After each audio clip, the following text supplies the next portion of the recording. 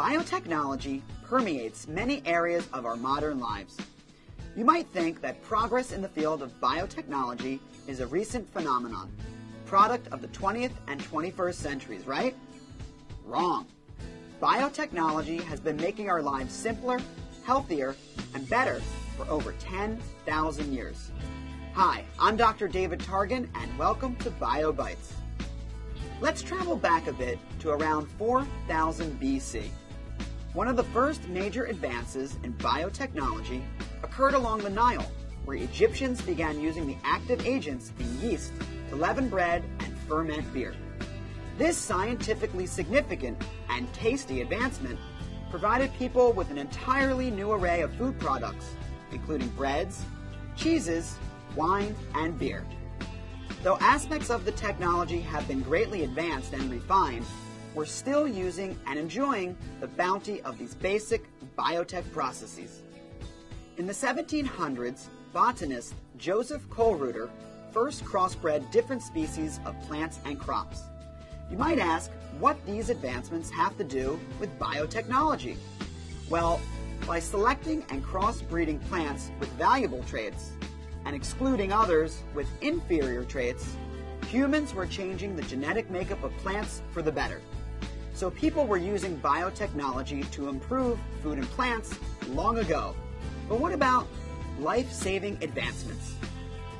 In 1797, English surgeon Edward Jenner successfully performed a vaccination for smallpox by inserting secretions from a cowpox pustule into a boy's arm. Where were the basics of heredity first discovered? If you said in a garden, you're absolutely right. An Austrian monk by the name of Gregor Mendel unearthed the principles of genetics through experiments in his pea garden in 1865. From George Washington Carver's pioneering of peanut and soybean use in feedstock to the use of bacteria to treat waste in English sewers, biotechnology was continuously making advancements throughout the 19th and 20th centuries. Although the field of biotechnology was in full swing at this point, the terminology was a little behind the times. It wasn't until 1919 that the word biotechnology was actually first used in print. 1981 was a landmark year for the biotechnology industry. The FDA approved the use of the first recombinant DNA biotech drug, human insulin, produced in genetically modified bacteria. This breakthrough drug offered another insulin option to over a million diabetic Americans who rely on insulin daily. It also paved the way for other drugs using recombinant DNA technology, which means recombining genes from different sources at the molecular level.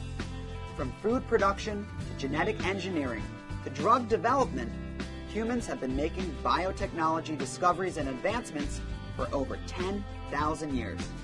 And with the brightest minds tackling new problems, biotechnology will continue to improve the worldwide quality of life. For BioBytes, I'm Dr. David Targan.